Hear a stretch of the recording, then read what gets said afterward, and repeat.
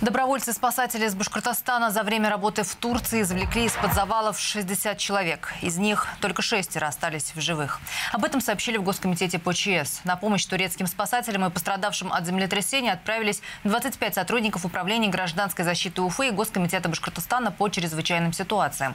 Их поисковые работы были сосредоточены в городе Газиантеп. На следующей неделе добровольцы вернутся домой. Добавлю, по данным Управления по ликвидации последствий стихийных бедствий в результате землетрясения землетрясений в Турции в начале февраля погибли более 38 тысяч человек. 105 тысяч получили травмы. В разборе завалов участвует более 11 тысяч спасателей. На сегодняшний день полиция арестовала 30 руководителей строительных компаний, 150 задержаны или находятся под подпиской о невыезде.